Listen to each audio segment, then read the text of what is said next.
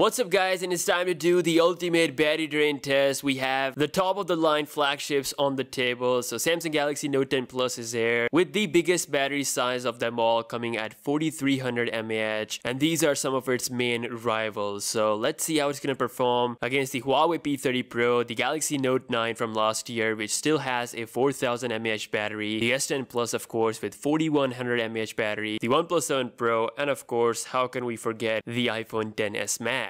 In case you don't know, this is what we're going to be doing in this battery drain test, a complete real life usage test. We've got the social media stage, a YouTube stage, a music streaming, then gaming, and finally the camera usage till death. As always, I've set the brightness to an optimal level on all phones, and the only connection we have on the phones is Wi-Fi network and location services. So before we begin, a huge shout out to Surfshark VPN for sponsoring today's video. Surfshark VPN is the cheapest VPN service out there guys, it's 2019, you gotta secure your sensitive data, especially when you're using public Wi-Fi, you definitely need to encrypt your data with a VPN. You'll actually be surprised how easy it is to crack into people's computers these days, so it's always better to be on the safe side and use a VPN, plus it allows you to access geo-restricted content. Streaming libraries are different abroad, so Surfshark lets you access Netflix and other entertainment services with no issues, so you won't miss out on your favorite TV TV show. It also lets you avoid the annoying internet censorship in some areas of the world, so you'll continue to use your WhatsApp, your Facebook, your YouTube, pretty much anywhere you go. And best of all, if you click the link in the description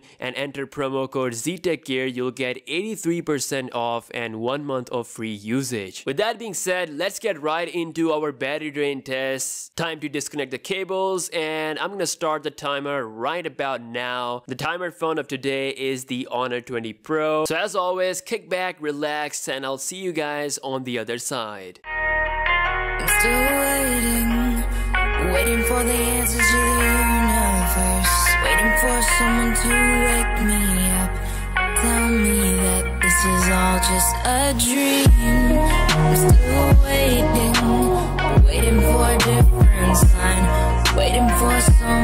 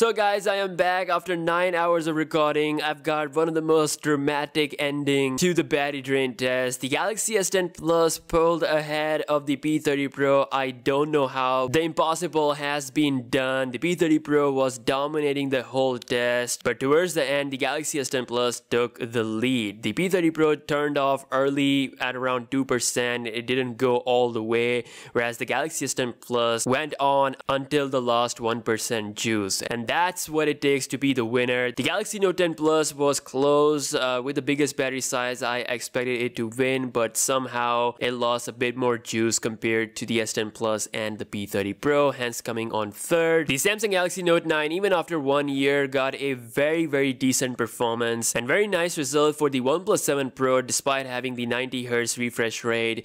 It's a pretty decent score, although not as impressive as the previous models. And then of course we have the iPhone XS Max with the smallest battery and the most smallest score. Also during the testing my timer phone got turned off so I immediately turned it on and I added this time with my total time of before. So these are the timings of each phone. For this battery drain test, the Galaxy Note 10 Plus is still very very incredible, but the S10 Plus has won the heart with the new August patch. I think Samsung has done some magic that kind of pushed this phone to the win. The P30 Pro was leading the whole test and I don't know what happened towards the end. Anyways, it still got a really incredible result. Thank you so much for watching this video. As always, let me know your thoughts in the comment section below and I'll see you guys in the next one. Peace out.